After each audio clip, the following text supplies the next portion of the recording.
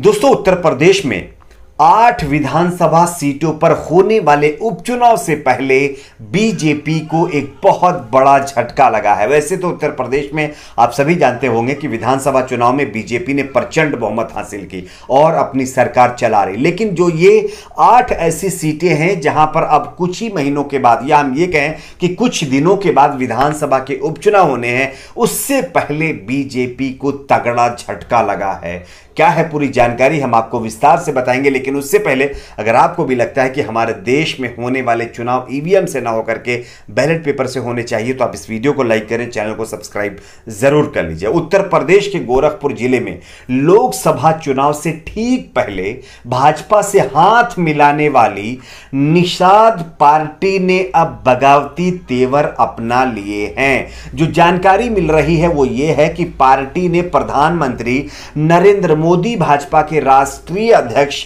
JP Nadda और मुख्यमंत्री योगी आदित्यनाथ पर निषाद आरक्षण व मछुआ समाज की राजनीतिक भागीदारी का वादा ना पूरा करने का आरोप लगा दिया है। साथ ही तीन दिवसीय आंदोलन का भी ऐलान कर दिया है बीजेपी के खिलाफ। बताया जा रहा है कि निषाद पार्टी की महत्वपूर्ण बैठक बुधवार को पादरी बाज़ार स्थित कार्यालय में हुई है। राष्ट्रीय अध्यक्ष जो कि निषाद पार्टी के हैं, डॉक्टर संजय निषाद की मौजूदगी में कहा गया है कि निषाद आरक्षण की आग फिर सुलझेगी, सुलगेगी और इस मामले में पार्टी आर पार की लड़ाई लड़ेगी।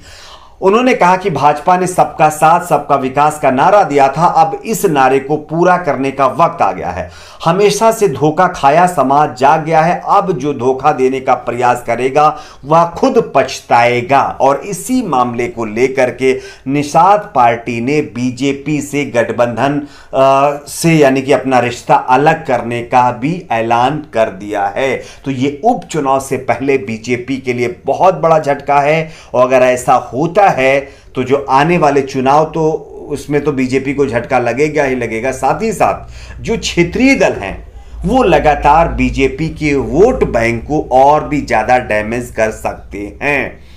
आप किस पर क्या राय है, नीचे कमेंट बॉक्स में ज़रूर बताइए। वीडियो को लाइक करें, शेयर करें, चैनल को सब्सक्राइब ज़रूर करें। मिलते हैं कुछ और खबरों के